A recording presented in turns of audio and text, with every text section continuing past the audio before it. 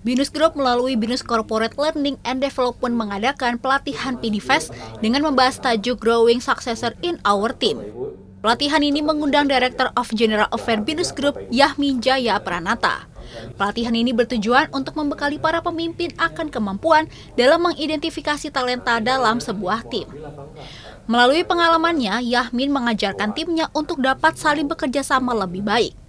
Di General Affairs sendiri, Yahmin harus dapat menggali potensi timnya dengan cara mengenal anggota tim lebih dalam, lalu mengembangkan talenta tersebut, salah satunya dengan saling membagikan ilmu pengetahuan. Yahmin pun menambahkan, faktor penentu suksesor yang sukses adalah memiliki skill, memiliki karakter binusian value yakni spirit, serta berkeinginan untuk menjalani tantangan dalam mengejar mimpi.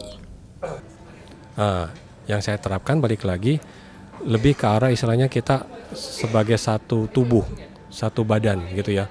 Jadi kalau ada satu orang yang istilahnya lagi kesusahan atau lagi kerjanya itu lagi padat lah misalnya kayak gitu. Nah kita satu sama lain tuh harus saling mendukung gitu ya. Sebenarnya karakter spirit itu value spirit itu itulah yang harus menjadi dasar di timnya kami sendiri sih. Nah dari dasar itulah jadi satu sama lain tuh saling mensupport, saling saling mengisi jadi kalau sakit, misalnya sakit bareng, kalau senang ya senang bareng seperti itu.